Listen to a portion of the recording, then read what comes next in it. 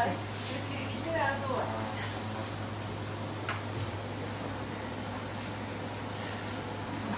Get him by the jacket off.